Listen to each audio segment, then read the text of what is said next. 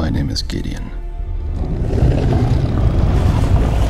And I'm about to die. I was born on a world long since destroyed. Some say I played a hand in its destruction.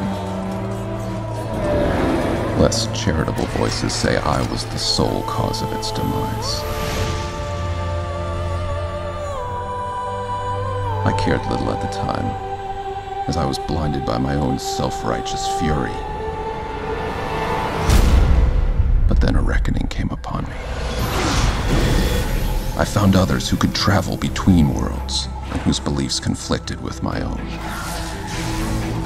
I was humbled by their power and tempered by their convictions. I resolved to learn from my opponents. I would do better, be better, and fight the very kind of tyrant I had become. For years I stood alone. In countless battles, I won every time.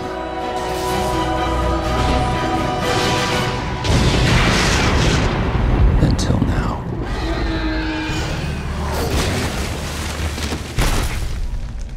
I've given my all and it wasn't enough.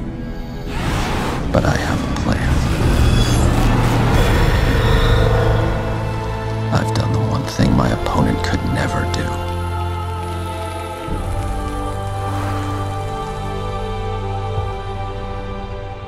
I've made allies out of enemies.